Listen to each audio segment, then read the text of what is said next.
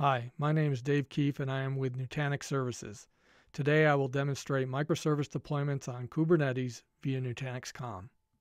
Today's demo will illustrate the following scenario. Kubernetes deployed via a Calm blueprint from the marketplace, a microservices architecture-based application deployed to Kubernetes via Calm, Calm Day 2 actions to scale up and scale down the deployment, Calm actions to perform an upgrade of the web tier followed by a rollback.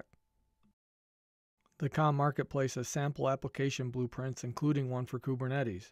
You can view the description, license, and other information about the blueprint by selecting it. For example, we can see that we're deploying three VMs, installing etcd 3.1.4 and Kubernetes 1.7.7. To launch this blueprint, we need to generate an SSH key pair. The private key is placed here in the CentOS credential. Once that is entered, the public key is placed here in the instance public key variable. We also need to enter Prism information and a name for the container. We will go ahead and select Launch, and then we will name our deployment, and then click Create. Switching to our application, we can follow the progress of our Kubernetes deployment here in the Manage tab. Let's go ahead and fast forward to the end of this deployment. Now we can see that we have a master controller and two minion or worker nodes deployed. Using kubectl in a terminal window, we can see the Kubernetes services and the Nutanix volume plugin that have been deployed via the Calm Kubernetes Marketplace blueprint. Switching back to Calm, here's the blueprint to deploy a containerized application to a Kubernetes cluster.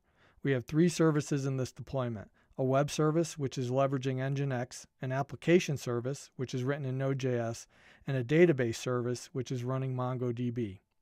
Let's go ahead and launch this blueprint. One item of note is that we are initially deploying the MongoDB database tier with three nodes leveraging MongoDB replica sets and the Nutanix Volume plugin. This provides persistent data storage to the database, which allows for HA and scalability across all tiers of the application. When we look at the cluster that was defined as the storage target for the Nutanix Volume plugin, we can navigate to Storage, then Table. Here we can see the container that we defined as the target for the volume groups. When we select the Volume Group tab, we see the volumes that have been dynamically created by the Nutanix Volume plugin as part of the MongoDB deployment. Let's go ahead and look at it from the Kubernetes perspective. Here we are able to pull back a list of all the pods that are running. Here we see that we have two Nginx, two Node.js, and three MongoDB pods. And here we have our application, fully deployed via Calm. That includes deployment of the Kubernetes cluster and the application onto that cluster with the successful outcome of a fully functional application. Switching back to the Calm interface and looking at the custom day 2 actions that we have created for our application, we have a scale action for each tier of the deployment where we can scale up or down, as well as an upgrade and rollback for our Nginx tier. Let's go ahead and scale up the Node.js and MongoDB tiers. For Node.js, we will enter 10 in the replica field, and for MongoDB, we will enter 6.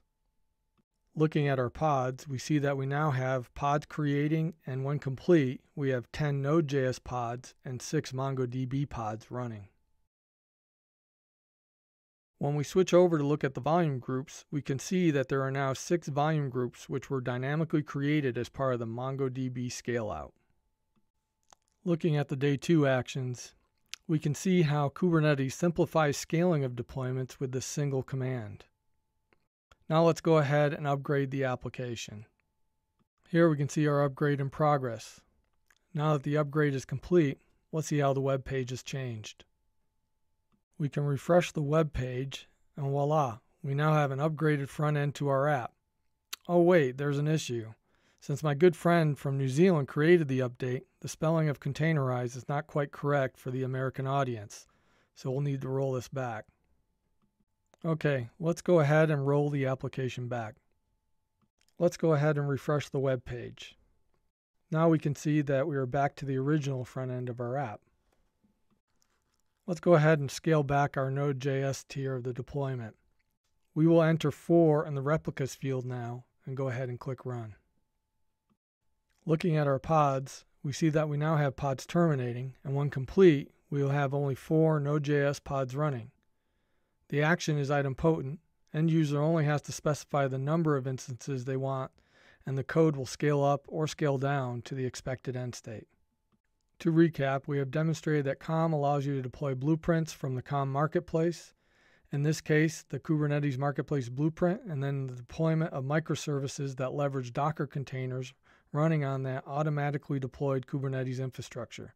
We have also demonstrated the capabilities of Calm to easily manage our microservice deployments via the custom actions that were created to manage day two operations. I would like to thank Chris Rasmussen for his work with the upgraded version of the web page and Andy Schmid for his assistance with the Nutanix Volume plugin. Thank you for taking the time to watch this demo. If you are interested in finding out more regarding this solution, please contact us at services at nutanix.com.